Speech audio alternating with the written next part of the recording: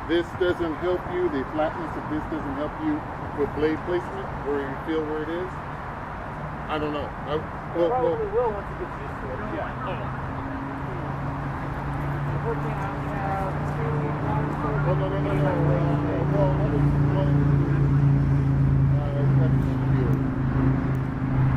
uh.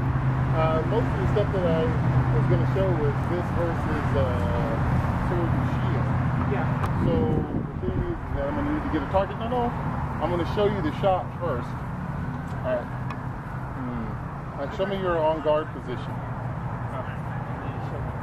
I switch between a couple different stances. That's the thing is, I play for fun at war depending on where I find myself. This I believe is my common one, so I can snipe forward, block, move in. So first thing. Can you guys stand over here and get you in good light? First thing is with your arm in those positions. This is what Go ahead. Yeah, go ahead and we're talking tournament. We're not talking war. With those, I have my sword and shield. Now I can still get to that because your your arms are close tight in your body, and that will force you to have to rotate your whole hips when uh, you are on guard and they're on they're a right-handed person. Your arm out, extended here. You're not wanting to go with the tip in because if I miss with my thrust, now this is here and their shield lays across here, and now I have to bail out. Versus keeping it on guard, which means I can hack, I can fake hack, come to a thrust, but I can keep my distance by that way. So I'm here with my arms in tight. So now, I drop that. So I'm going to be on guard, and you're going to throw a wrap to try to take my arm. No, no, wrap. Actually, I would take a step forward. You're going to take a step in and wrap me. I was just talking about being right out here, just sniping for my arm. But if you're trying to snipe for my arm, I'm going to be here, and it's now I can leverage it out here versus with my arms being in tight and holding it like this. They're in a fixed position. Now I have some distance to travel that I can alter your angle of doing things. So from here, you're going to go for this leg. I'm here as I'm sniping there. So it's all one motion. It's boom, boom, here, back cut, or here, onside uh, head. So first all, get your weapon, and present, present that out. Almost feel like you're gonna tuck your arms in. There we go. There we go. So you already have the concept of twisting your wrist to add that extra. So there we go. So it's here and here.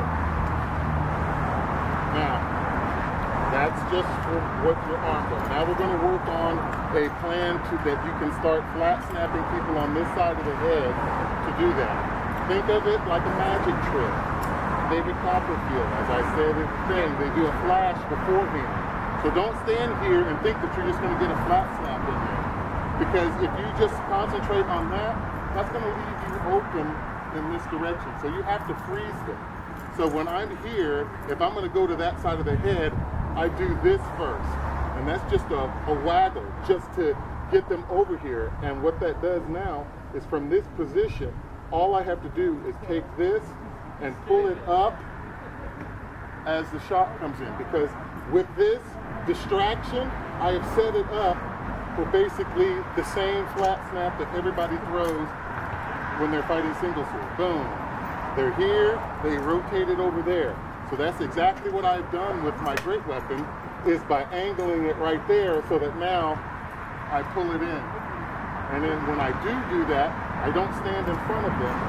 I, as I do this, I'm taking a half step. So I'm here, I go. So that now their shield is part of my shield. Right? Let's go slow. So, to be better, I'm going to stand we already know that we're going to do the waggle at top. So we're going to stop it with our arms like this. All right, arms are out. I lift here. Back again. Back again. Now, as I'm lifting this here, all I'm doing is taking a half step that direction. So now I lift and I come back. I lift, come back. Lift, come back. Now I'm going to continue the motion. Once you've lifted and set, all you have to do is pull this straight up as you use this hand to guide it into the head. Basically, Okay? being on guard, basically So being on guard it's lift, you show up early in the event and uh, Ah, set up that's the not- and then at the end of the day, Okay. Hey, will take I'm going to stand in front of you now. So it's shift. All right. Now what you did is you did your waggle. Wasn't uh, wasn't threatening. This is what you did. You win. That's not threatening. I went. Uh, hold yours back just so I don't get it. I win. See how that could? Yes, because I need you to believe that I'm coming here. And that will commit their shield to come in tight and up this direction because they're going to go like this to try to block it. But it's not coming in. That is what's going to buy you the time to come around to their head. So it's, it's here and it's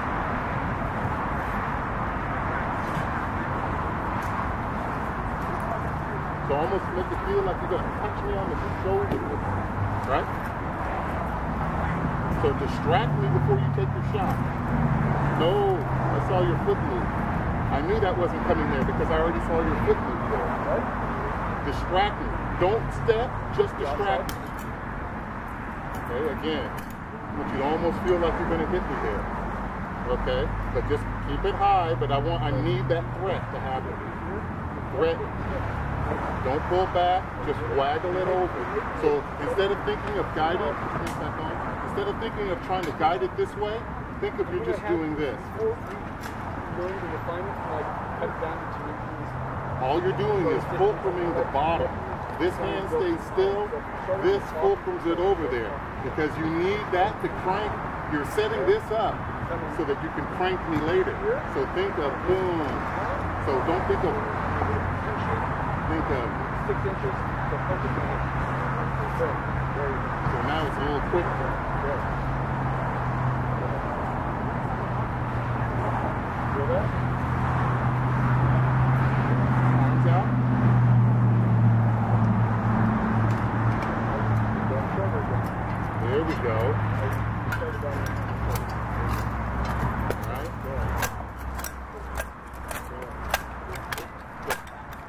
Now we're rolling. There we go. Now, when you do that threat over there, add that foot in. So now concentrate on distracting me more than taking that step. Up at the same time. Up. Look at me. So when I'm here, the second I do that, I'm already going, I'm here, and I go. It's all one motion.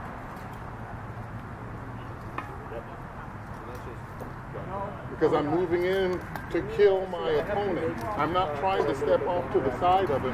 I'm his shield. You got to imagine his shield is right there, so he's going to be looking there. That foot is blinded by that shield, and I want to be right here when I throw this shot because when I drag my foot in, his shield's going to be out here, and it's going to be difficult for him to do a rapid. All right. So when you waggle, almost like you're doing a circle almost. So, right? Yeah. You, you do both at the exact same time, which is what gives you, what I'm doing is two separate steps Right. in my mind. It's what's biting me. So that is what you practice on the pell. You just get there, and your whole thing is to take that step. Because when you're fighting this against a sword and shield person, this is your defense uh, and your offense. And then now your body has to be a part of your defense and offense. So instead of instead of it just being a regular sword and a shield, I have uh, a sword and shield, and my body is a sword and shield. because I have to practice on where I can take my steps where you can't hit me. And I keep this here. Boom. If you're a charger, boom. Or you're charging in, just kind of walk a little bit towards me. So you charge in, and I have to learn how to do this. So you get a charger, and I. So if you're going to charge me, I purposely would only take two steps back because you start charging like a one, two, boom. Because you're going to charge me like a bull, and I'm just going to take the two steps to commit you to that charge. And the second, all I have to do is step off to the side and do this because we're going to continue to go because not going to stop you. Alright? So that's just a little bit, but that will. I figure I'm gonna have to get those bits Yeah. and all that. Was that good enough? That's good enough for tonight. It just Okay. needs this week. All right.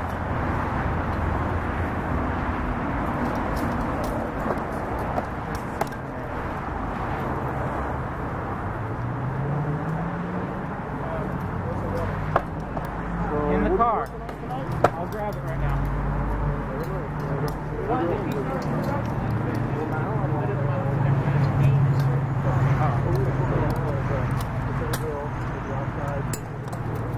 So we have Helgi, you, and uh, Brad, and so we got enough to do a little grinding. Oh, uh, I forgot about.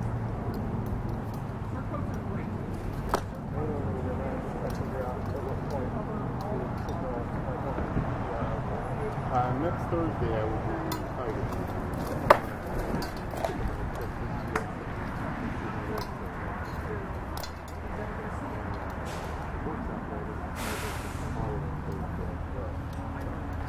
But I don't want to hurt it because I got to go up to Artemisia. And so that's what I've been hesitant about. I heard it's worse than what it is, and I'm going to cut it all up there. And that's lining up in the feet.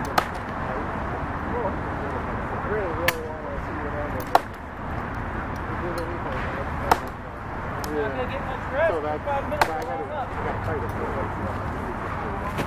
it. Uh, this guy, um, uh, Bandrix, Five minutes are up, uh, he and I have been talking on Facebook, and he's a